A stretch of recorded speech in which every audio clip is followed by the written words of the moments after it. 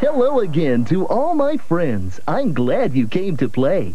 Our fun and learning never ends. Here's what we did today. We used our imaginations to fly around the world and visit many different people in many different lands. Our first stop was the country of Scotland, where we heard our friend Fergus McLaren play a very special instrument called bagpipes. We danced a Highland fling to his music. Ooh!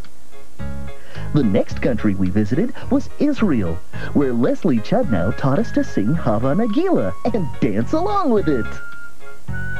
In Africa, our friend Ife Amani told us a wonderful story about a little teeny ant and a very big breadcrumb. Ooh. And we played an African game called Umbura. I've never played a game with a stick before. And Gloria Chen showed us how the people in China celebrate the New Year.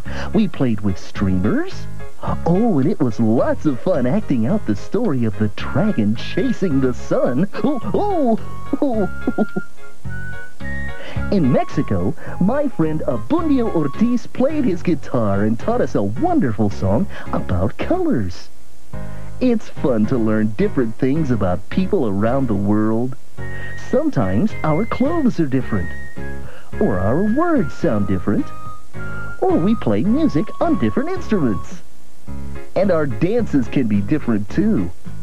But there's one thing everyone can do the same all over the world.